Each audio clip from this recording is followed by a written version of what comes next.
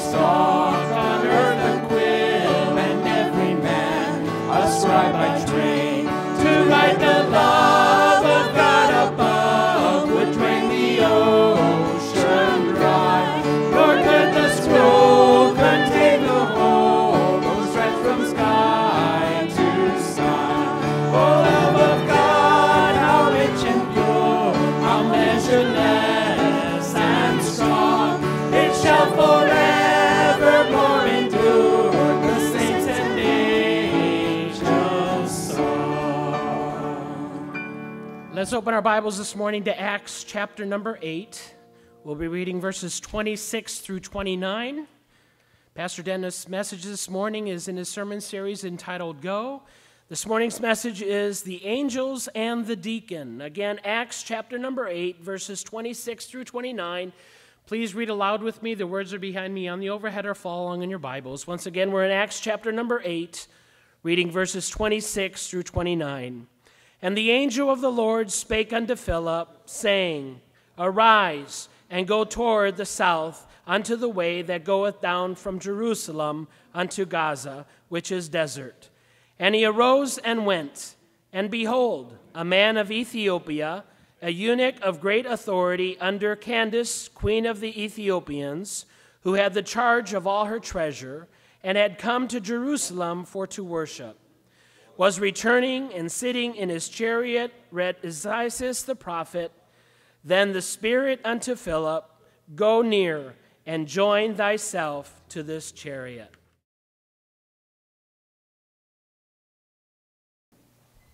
Maybe this morning you're here and you're going through something difficult. Camille, thank you so much. That voice and your song means so much.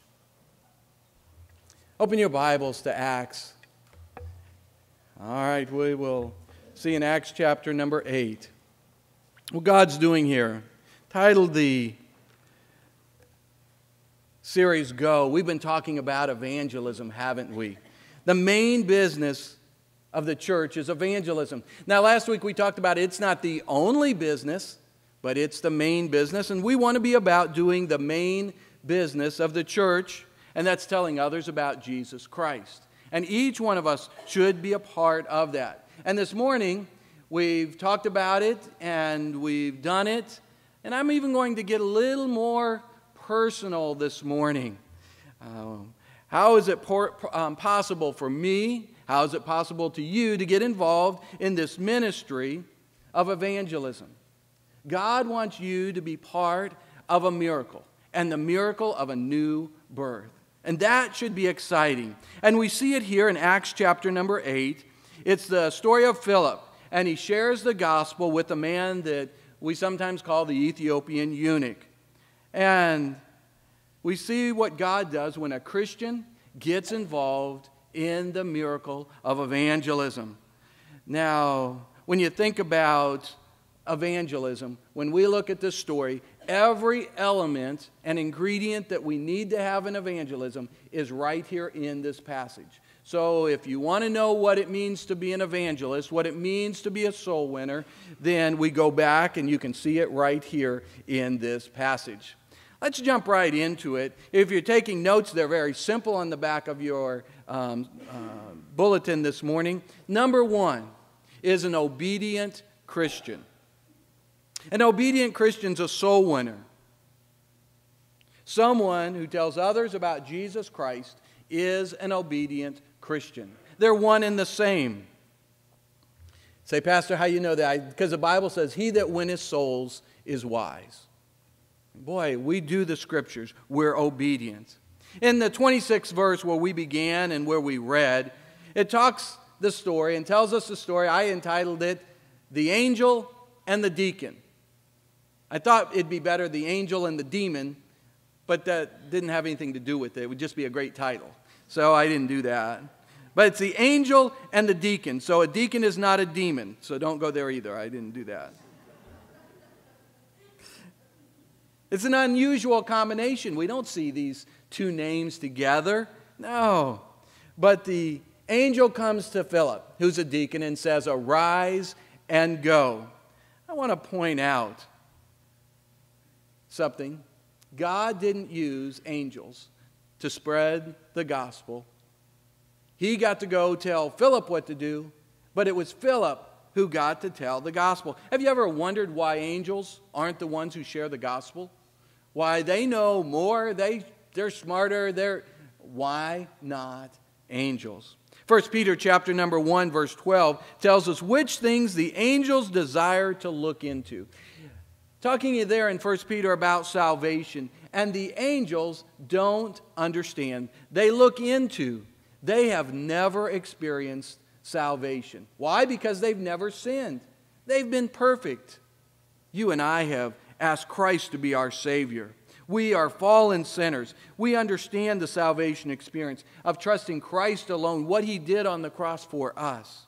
The angels sing, Holy, Holy, Holy, but we sing redemption song. We sang it to this morning. How deep the Father's love for me. That's redemption song.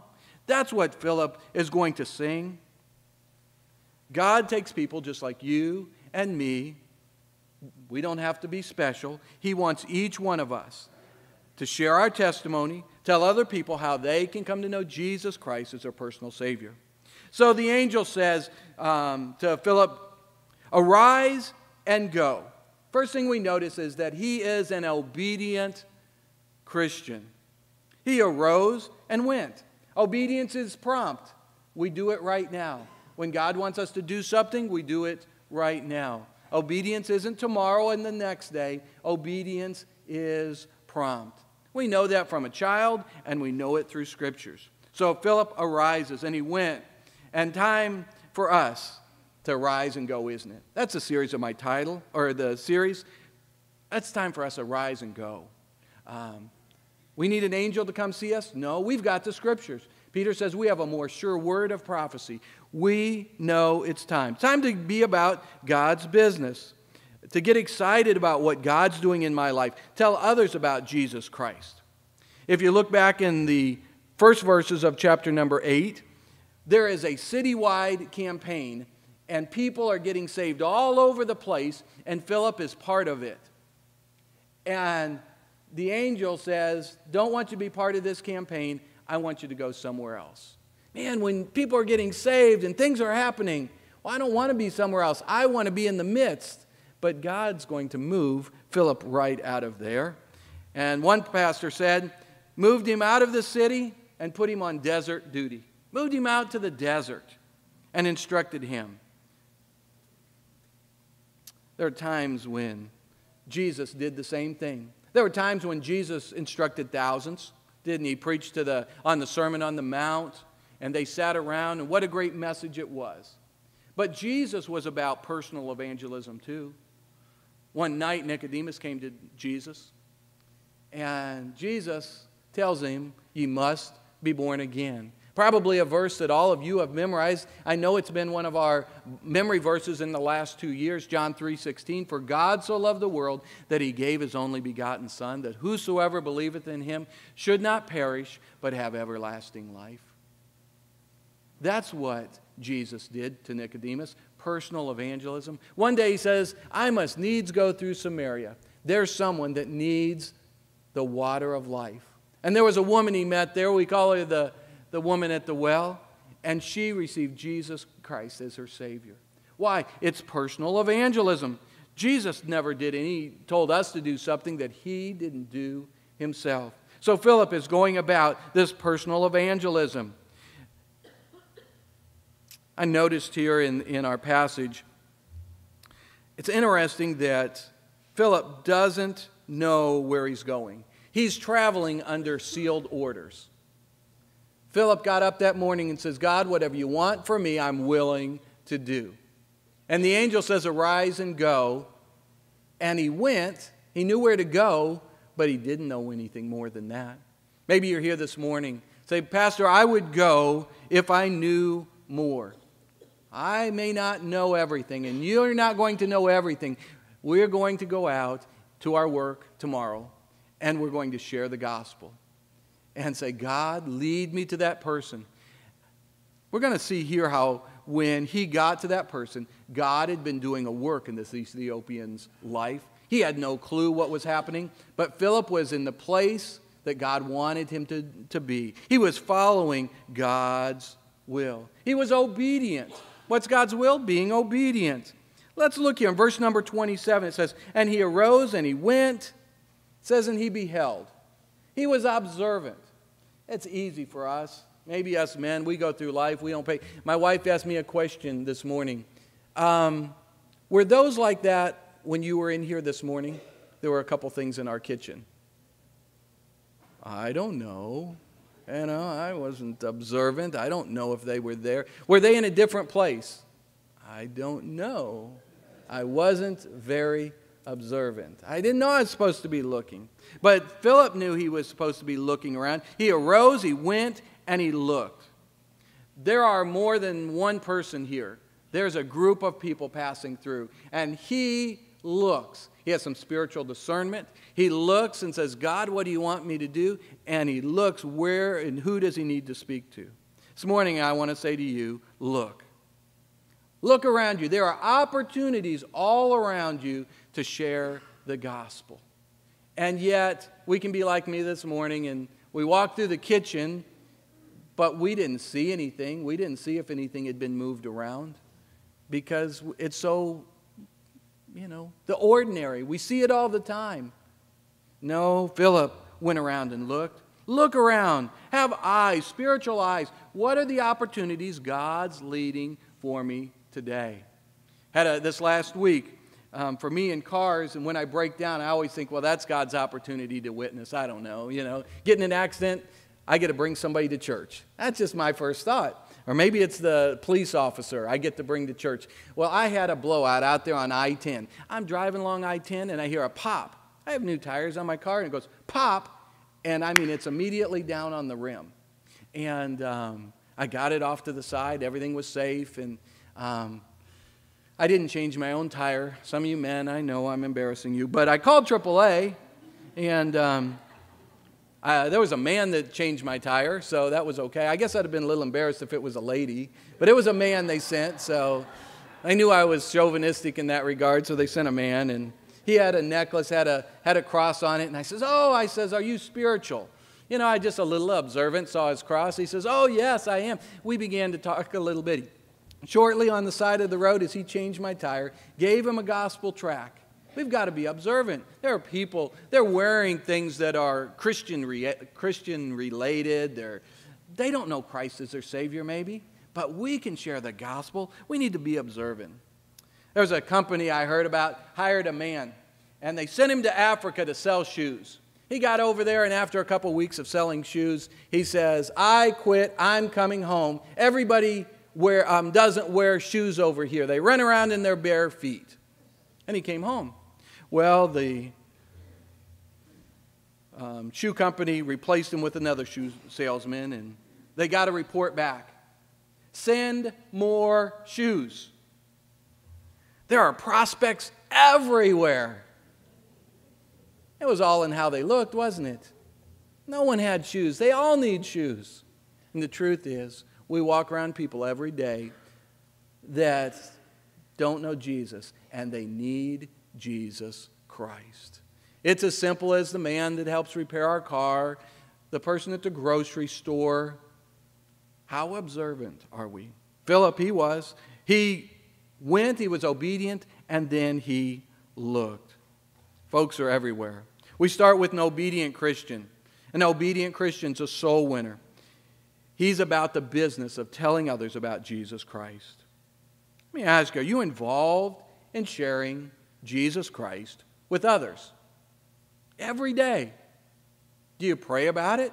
Is that part of a prayer that you say, Dear God, help me to be about the business of soul winning, of telling someone else about Jesus Christ?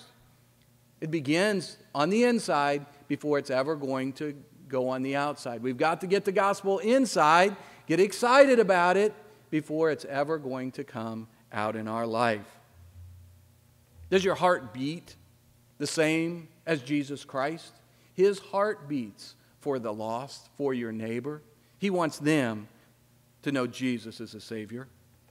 Here's Philip, an obedient Christian, and he sees this chariot bumping along, and then here's what I call a prepared sinner. We're doing what we're supposed to be doing. I promise you, God is doing what He's doing, and He's doing what He's supposed to be doing. I don't have to tell Him, and I don't have to worry about it. God's doing His work. So let's look at it. Verse number 27. There's a man of Ethiopia. Well, what do we know about this person? Well, we read a little bit. We're told that he's a respectable man. He's a VIP. He's secretary of the treasury for the queen of Ethiopia. He's a religious man. So he's responsible. Um, undoubtedly, he's re- wealthy. Um, he's an influential man. He has two aides, it says, there with him as he's um, looking at the scriptures.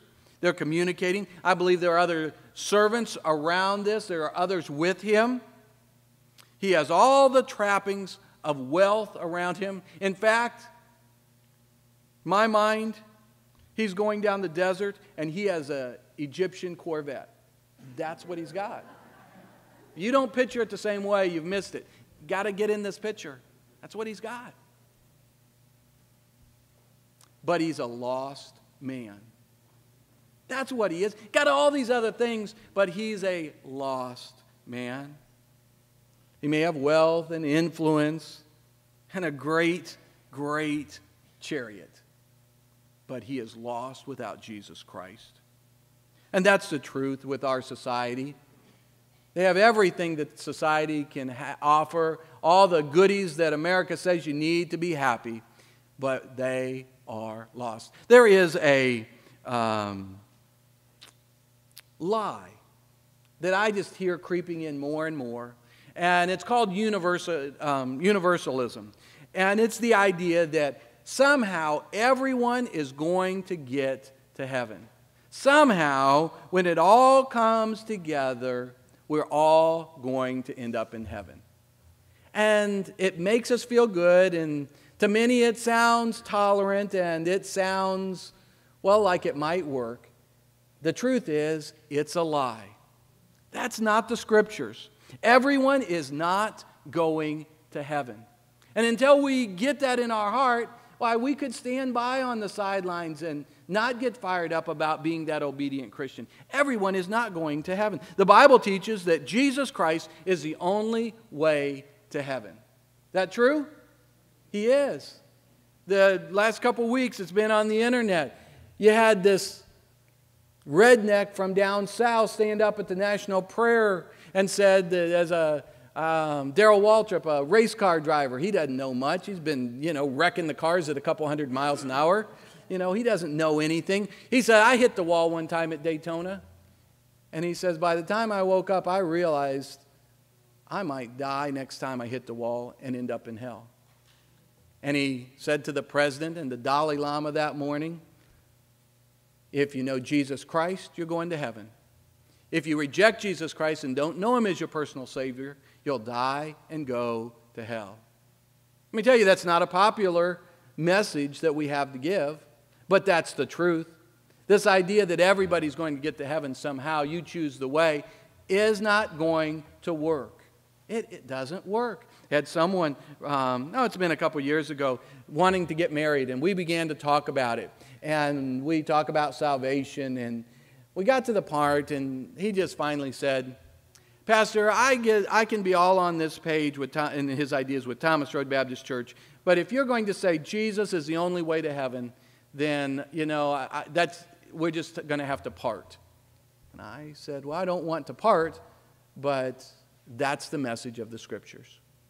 I hate it, but it separates sometimes. Sure, it does. Jesus Christ is the only way to heaven. We're not going to some find another way into heaven. Around you, you're going to find people of influence, people that are good people, people that are kind, that give, that um, are loving, and they're going to get to heaven in their mind, but they don't do it through Jesus Christ. And it's our job to share Jesus Christ with them. This Ethiopian eunuch, he's a prepared sinner. At the end of verse number 27, let's get back. He had come to Jerusalem to worship. I told you he was a religious man. He had decided somewhere along in his life that this idea of the Jews and that there was one God, as opposed to all the other religions, that there were multiple gods and multiple ways to heaven, this idea was the right way. And so he goes to Jerusalem. I don't know it was the first time for Jerusalem, but I kind of think that this is the first time he had ever gone to Jerusalem. And I can just begin to imagine the excitement it had built that he is going to go and begin to worship this one true God. He's making a huge trip, a huge sacrifice, costing him lots of money, and he's been thinking about it and he's excited about it. Can you imagine the high hopes that he had. When he came into Jerusalem, the beautiful and magnificent buildings, he saw the priests, and then all the slaughtering of all the animals going on. He, he watched it and tried to understand the sacrifices. Maybe he listened to the Levites as they were teaching. I have a feeling as he went there, he had a hole in his heart. He was missing something. And he felt like this religion the one true God was going to meet that hole in his heart. Verse number 28, though, says, And as he was returning, he had been to Jerusalem, he had worshiped, and now he's returning. He had a hole in his heart. He had found beautiful buildings in Jerusalem for sure. He found impressive ceremonies, yes.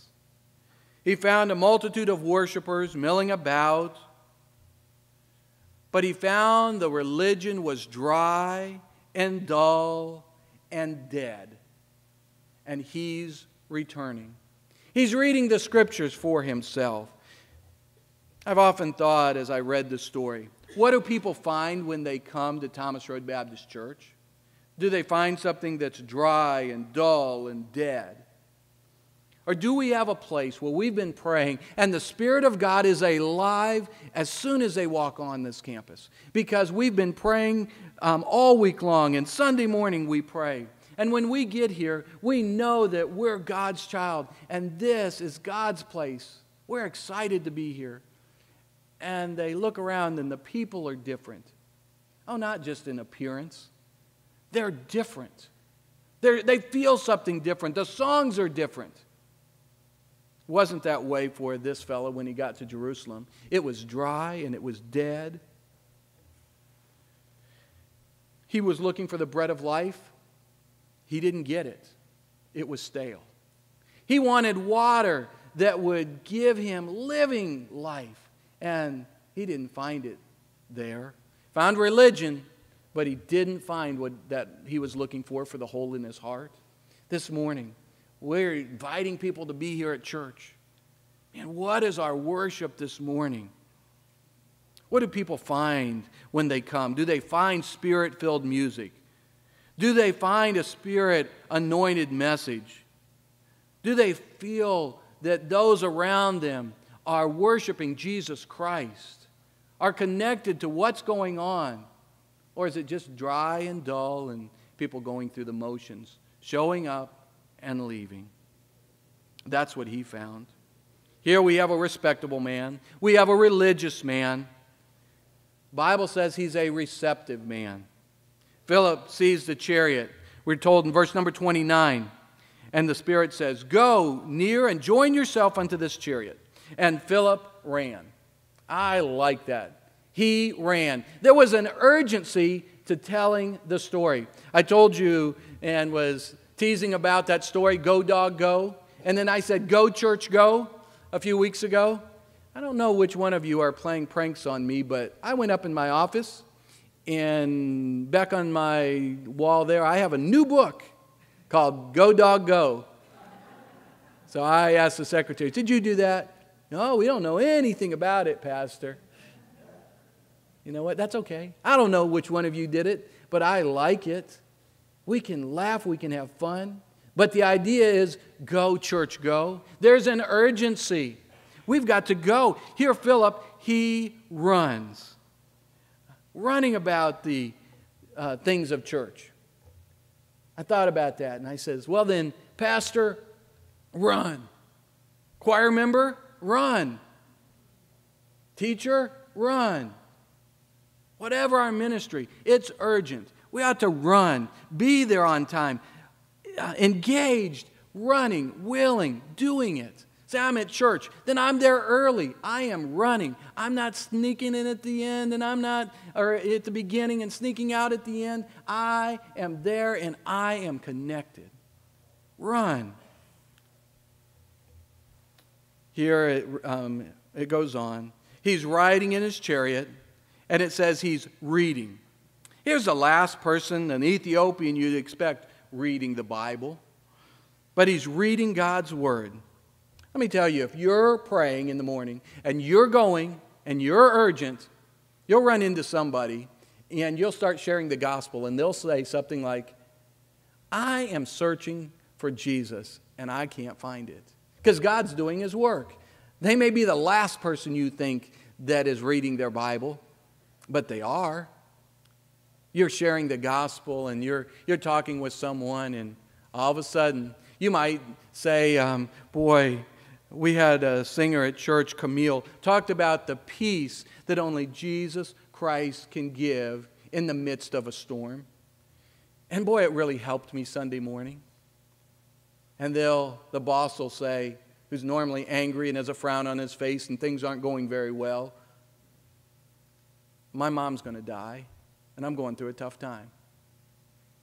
Someone unexpected. You wouldn't expect this person to be open to the gospel. You don't expect the Ethiopian eunuch to be accept, uh, receptive to the gospel, but he is because God's doing his work. You have an obedient Christian, you're going to have a prepared sinner. God always does his work. There is no one, let me tell you, too hopeless for the gospel. There is no one they cannot receive the gift of eternal life. Oh, well, that person, they're hopeless. No, they aren't. They need Jesus Christ. And when we share with the gospel, God may be doing a work in their life. You have an obedient Christian, you have a prepared sinner. Let me give you the third one this morning. We have the authoritative scripture.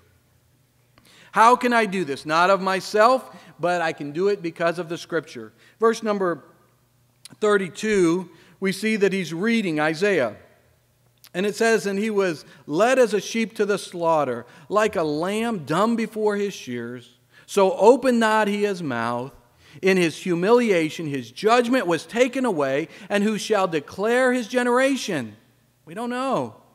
For his life is taken from this earth. He's reading Isaiah. It's one of the books of the Old Testament. Now, say, Pastor, you've been talking about go I understand this. I get that. Maybe it's not been anything new, but I know sometimes it's needed for me to get some encouragement to go. But let me just share something with you. Um, the book of Isaiah is an interesting book. Now, the Bible is translated into English, and years later it was split up into chapters and split up into verses. But this is just rather interesting. The book of Isaiah is split and has 66 books in it. Our Bible has 66 books. Isaiah is split into two parts. The first part is held together and is 39 books. The last part of Isaiah is 27 books or 27 chapters. Have you got, been watching with me? Our Old Testament has 39 and our New Testament has 27. And as we go to the central part of that second set of Isaiah, it's Isaiah 53.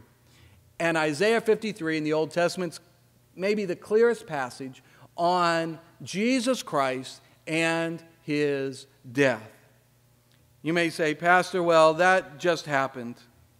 Maybe, but I don't believe it was a coincidence. I believe God has a plan, and He has written our book, and it is perfect from the beginning to the end. And here, the Ethiopian is reading, and he begins to ask the question I pray thee, of whom speaketh the prophet this? Of himself? Is Isaiah writing about himself, or is he writing about another person?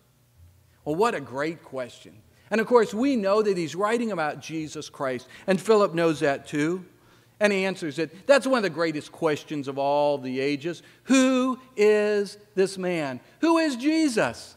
What separates him from all others? Is he just another person? Is he another prophet, as the other religions say? Is he another good man? Is he a God like all the other gods? No, he is Jesus Christ. He is the Son of God. He is God himself, 100% man, 100% God. When he went to the cross and died, he took our sins and shed them. He took them, and he gives us back righteousness when we trust him as our Savior. That's what Philip tells him. Tells him the good news of Jesus Christ. His name is the Lord Jesus Christ, the Ethiopian eunuch. Why? That changed his life. Well, last week, I, last two weeks, I've been trying to challenge you to go out and find you an Ethiopian, find you a person from Africa, find you a person from Russia. Now, I don't care. We don't care where they're at, and give a gospel tract. And how many have given out a gospel tract? In the last two weeks, you've got, raise your hand this morning. I know there's a bunch of you. All right, there, some of you aren't raising your hand, and I know you did. Don't be shy. I tell you what, it encourages others when you do. Some of you said, Pastor, I gave out three last week. That's an encouragement. Someone said, Pastor, I gave out 10. That's great. And I want to encourage you. We can share the good news of Jesus Christ through a track. Last week we talked about Evangelism Explosion, and um, we have five that have joined along with the others in Evangelism Explosion. I'm encouraged by that. I think when we started um, several weeks ago, there was about 25, and now there's more. Boy, I encourage you. It's never too late. Tuesday night, 6 o'clock, be here at the church. Our missionary that um, I introduced you to, Aaron McNeff, um, was in my 9 o'clock and he was telling a story. And he was talking about um, what it means to share the gospel in the sense from his own personal. He's going to be a missionary. He's gonna, his life's going to change. What's going to happen? And some that were at church with him go, Aaron, don't do that. You know, you're going to fail. It's, you're going to ruin your family. You're going to ruin your life. But he didn't. He kept at it. And he shared a testimony with one that was unsaved that became saved because of his witness and because he went and because he did not quit. Aaron, I'm going to ask you to come on ahead.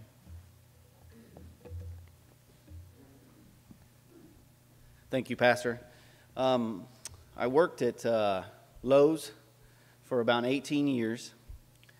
And before being called to be a missionary, um, the part of being an obedient Christian is not that you have to know what the entire Word of God says when you go to talk to somebody or you go out to your workplace. It's what it was for me is it started reading God's Word daily, and I hated reading. So I started it two days a week. I finally, after a year and a half, I got to seven days a week. And during that time, God changed the way I thought, the way I processed information, the way that I responded.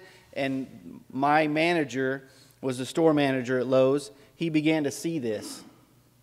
And it wasn't that I could go and just tell him everything he needed to do. No, through reading scripture, God was changing me, and he was, he was changing who I was. And so sharing the gospel to him was easy because all I had to do was tell him what God was doing in my life. That was it.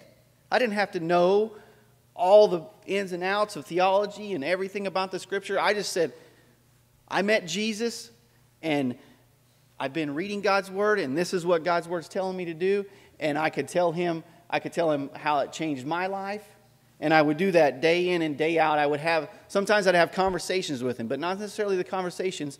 he would come to me and ask, Why are you doing that, Aaron? Well, that doesn't, that doesn't make sense to me. And then I would share with him, Well, I read in God's Word, it could have been a few days ago or it could have been that day, and I would share, This is what God tell, tells us to do. And this is what God's doing in my heart. He's changing me. He's changing me to, to be more like Christ. And he would think, I don't know about that. And he'd walk off. You know, and then, then he would come again and ask, or he would. And one of the things I remember is when I told him, I told him, I said, I'm going, God has called me to be a missionary to Argentina. And so next week we're selling our house. And I need to give my two week notice that uh, I'm going to step down out of management into part time. And so he knows how much I make, he knows how much I'm going to make. And he tells me, You're going to fail. The, the economy's out of it's, it's really, really bad.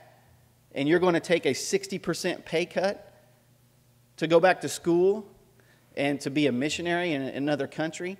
He said, you and your family are going to live in a cardboard box. And I, I didn't really know how to respond to that, to be honest with you. I wanted to respond in the flesh. I'm telling you right now, I wanted to. And we kind of left it at that. And then time went on.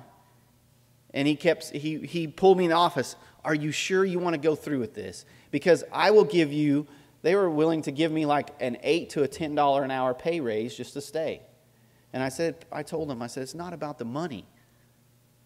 It's about being obedient to what God wants me to do, and this is what He wants me to do. And He's going to take care of me. And through all that, um, before I, I finally, in a year ago, I quit from part time. I just quit, had to, had to quit Lowe's, and I worked at a church for a year. But before I did that, he came to me one day and he said, I went to church at a church in town, and I accepted Jesus Christ as my Savior, and now I know exactly what you're talking about. And so, yeah, it was, He gave me some credit, but it was all God. I mean, God's Word began to transform me. He, he transforms every life, your life. And even if He's, even if you just got saved, you've got something to share. So if you just, just begin reading your word, God's Word, and it'll change everything about you, and you can just share that with the people and it's, it's, you don't have to know it all, just, just what's in your heart. And God honors that, and God is preparing the sinner out there. Thank you.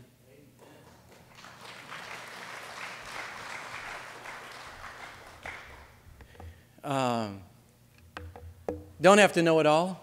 You've been passing out a gospel track. I'm going to ask, I told you I'm getting a little more personal every time. Did you read your track before you gave it out? Did you know what it said? All right? That's good. You're shaking your head. I like to hear that. I just grabbed some. There's one we have out there that's green, and it has two question marks on it. That's good. It gets their attention. Here, this one says, Somebody loves you. This one says, Have a good day. Okay? Three things God cannot do. Why did Jesus die? They're all good. I read through them. I need to share the gospel. I can take any one of them. Why did Jesus die? It goes through it. If I'll read it, and if I just open it up with someone, I could go through it. Sin brings death. Jesus died for us. Jesus is the way to heaven. Jesus is the way to life. Turn to Him today. It's got verses, it's got everything. If I read it and do what it says along with somebody, we've personally presented the gospel. Philip, he knew Isaiah real well. He knew his Old Testament, and so he was able to use um, Isaiah if you are able to use a gospel track, I didn't pull up a green one. Jerry, have you got a green one in your pocket? Got one in your purse? He didn't shake his hand. He doesn't have a purse. All right, there it is. I knew you had one with you. All right, because can you give one away if you don't have one? All right, good. You got one in your hand too. Good. I like that. You can't give one away if you don't have one in your pocket. You got to have one in your pocket. And we're talking more about even giving one away, but now sharing the gospel. You've got one in your pocket. You're doing what you're supposed to do. I'm doing, I'm obedient. God's doing his part. They, there will be a prepared sinner. We've got the authority of the scripture. Boy, that's, that's good. I loved your story. God will do a work. Your boss, who didn't want to hear anything, was willing to even tell you that you were a failure as a father and as a husband, and your family was going to live in a cardboard box, got saved. That's exciting. That can happen to you, that can happen to me. Let me give you one more. Number four, there's a personal salvation. Philip opened up his mouth in verse number 35 and begins and tells the scripture. He preaches the scripture. And then they come to the water, and the eunuch gets saved and says, Can I be baptized? Yes, you can be baptized if you know Jesus Christ is your Savior. Baptism doesn't save you, but you can be. And so they Philip commands that the chariot stand still. He says, Stop, chariot. Whoa. Anyone that believes on Jesus Christ ought to get excited and follow the Lord in baptism. Next week, we're going to have a baptism. I've talked with some. I think we have some children that have been coming that know Christ as their Savior. And we've got a booklet so that they clearly understand it. That's important. Number two, um, as an adult, we want to clearly understand baptism. And if you need to be baptized next Sunday, ought to do it want you to do it. Verse number 38 it's the chariot stands still, they go down into the water, and he is baptized. The verse says there that Philip kind of lowers him in the water, brings him up out of the water. The Ethiopian eunuch is kind of spewing water everywhere, wants to tell Philip how grateful he is, and looks around, and Philip is gone. He's gone, he's not there anymore. I don't know if he just walked away, but the word here, when it says he was caught out, that Philip was caught out, is the same one that's in um, 1 Thessalonians chapter number 4, when it says the church is caught out. We use the word rapture. As believers, Christ is going to come back in the air, and we are going to be caught up. We're going to be caught out of this world and raptured. Here, Philip was taken away. I don't know all that means, but I will tell you this. It means that word rapture in, a, in the sense that you will be excited and out of your skin, excited for what Jesus Christ has done in your life. If you show someone to, how to be saved, you bring them to church, and you're in the service when they get baptized, they'll be excited, but you'll be more excited. You'll be raptured. You'll be caught up because it's an exciting thing when God uses us. You want to be used of God. That's what God's purpose is and plan. And when we do His purpose and plan for our life, it's so exciting. That's why I preach go. And you want to be on his program. I don't want to be on my program. You don't want to be on my program. You don't want to be on the preacher's program. It stinks. You want to be on God's program. That's the one that works. Well, they go on their way. If we were making a Hollywood movie, or if they were, they'd mess up a lot of things, but I think they'd get this right. Um, one preacher said he was going back to start the First Baptist Church of Ethiopia. That may be true. But now they're in a gospel buggy and they're traveling off back to Ethiopia. And Hollywood, no doubt, would put a bumper sticker that says simply, honk if you love Jesus.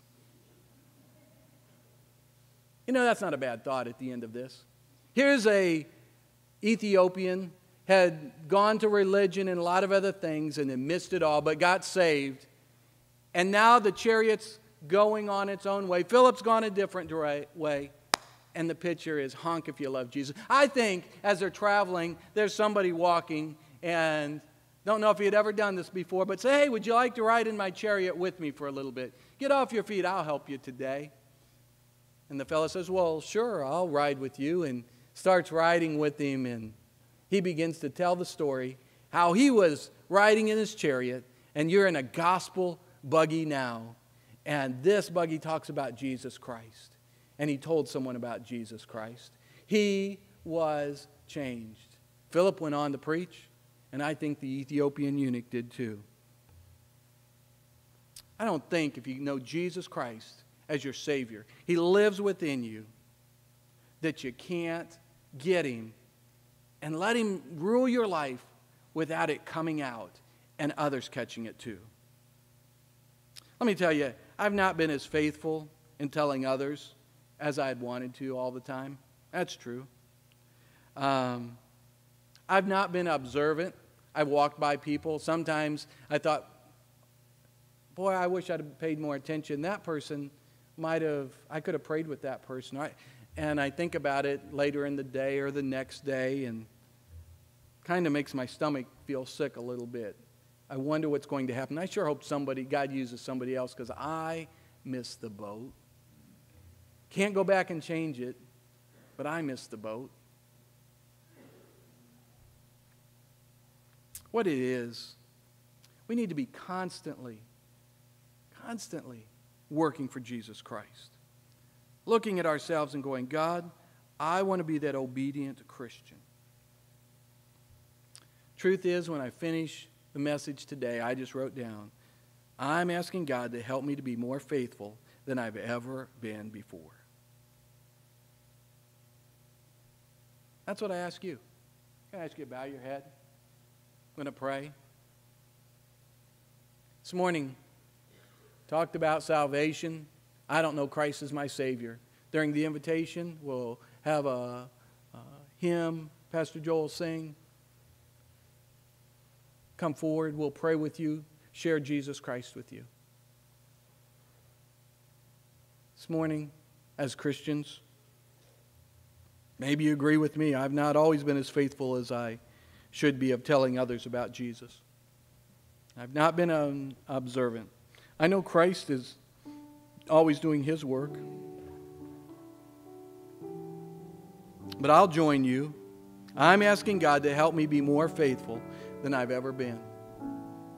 I'm not going to ask you to raise your hand. If you want to come forward and pray this morning, the altar is always open.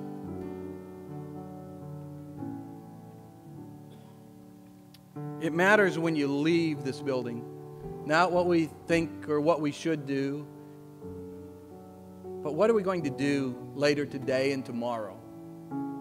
How am I going to be changed? Is my actions going to change?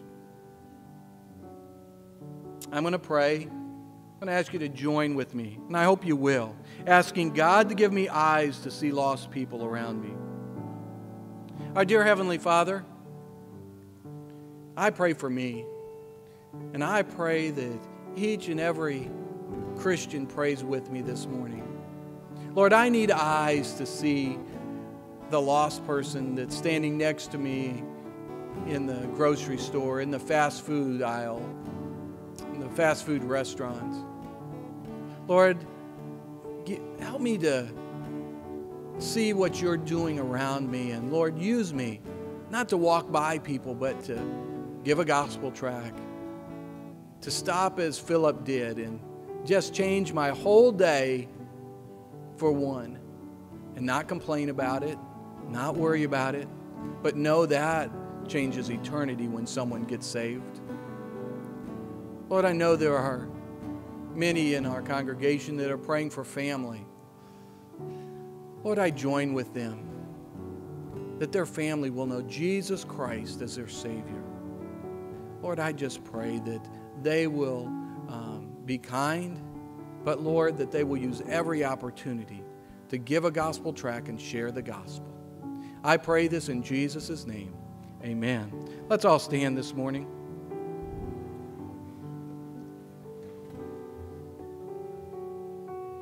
I'm going to ask Pastor Joel to sing, and as he sings, you do as God lays on your heart.